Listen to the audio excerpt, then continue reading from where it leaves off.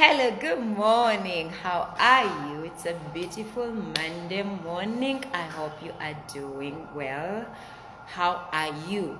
You, the person that is watching this. Spirit, soul, body, family, everything that pertains to you. Is it in order? Are you experiencing the peace of God?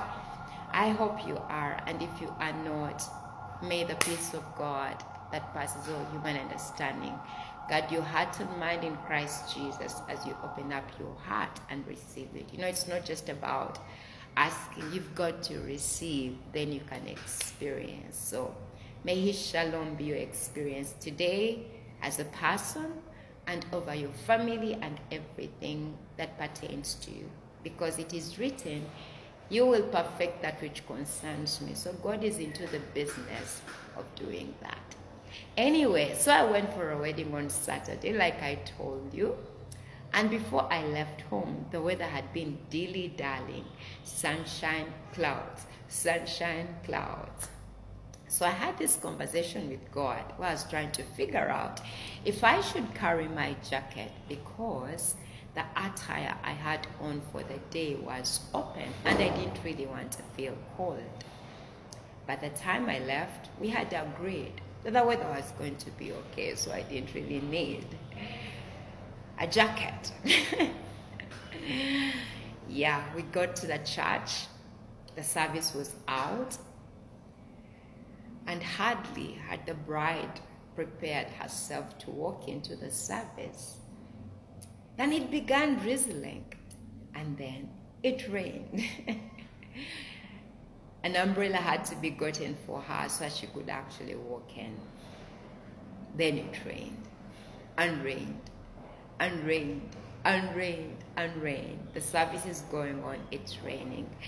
And I'm having this conversation on the inside of me with God of really, I thought it wasn't going to rain. It's basically grumbling here and there telling him about how unimpressed I am about the fact that it has rained and how it's not stopping. Jesus, why? Blah, blah, blah. it finally stopped raining at the end of the service. Interesting and very ironic, actually. So we stayed around, took our pictures. It's a very beautiful scenery.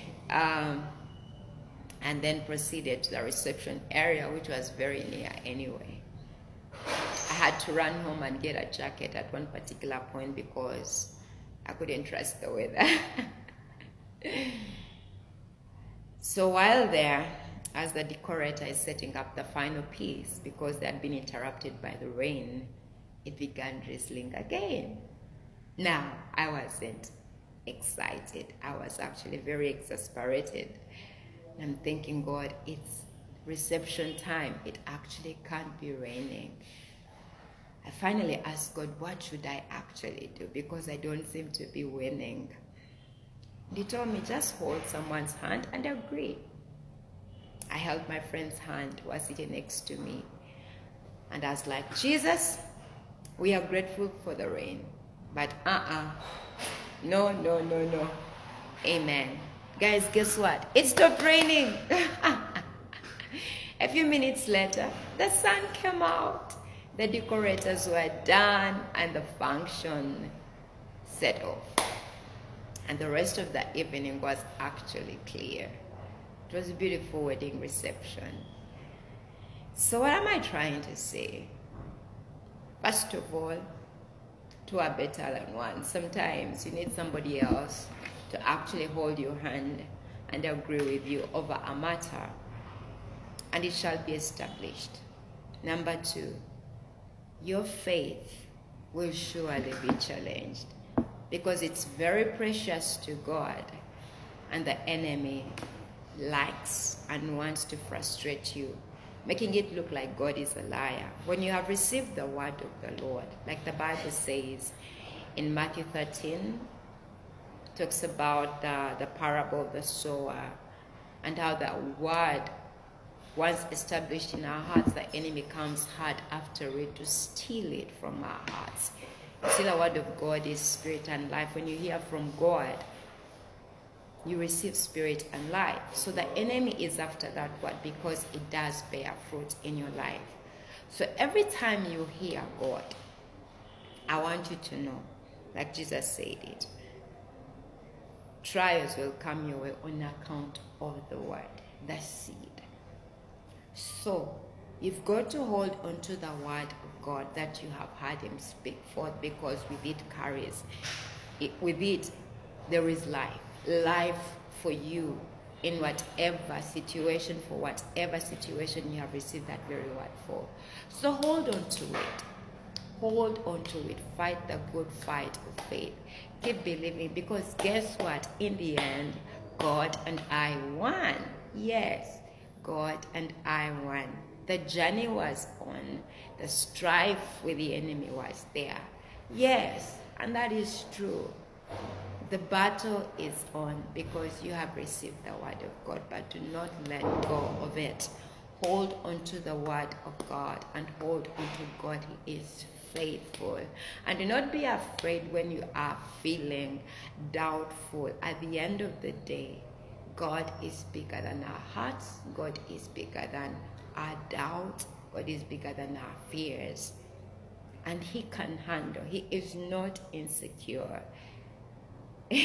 God is big. So, if you have heard from the Lord pertaining a matter, you have inquired and inquired and inquired, and He has resounded His word to you, His promises to you. Hold on to that word. He keeps His word, He fulfills His promises to you. Simply say Amen, agree, accept. God will surely do what he said he will do. Which means you need to hear God concerning everything in your life. You need to engage the Father.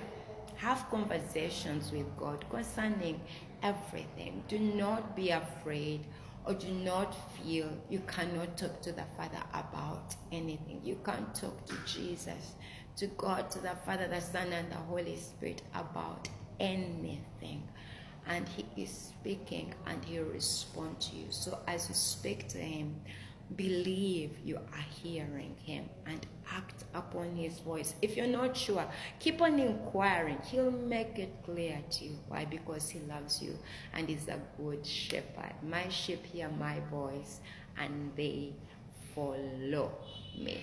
You are loved, you are loved, you are loved. God is not out to fail you, He can never fail you. It's not His plan to fail you. You have an enemy and He doesn't like you as much as He doesn't like God. So, but greater is He that is in you than He that is in the world. So, wherever you are, may the Lord bless you. May His face shine upon you. May His grace, which abounds towards us, become your experience as you embrace it. Have a lovely day and have a lovely week. Bye bye.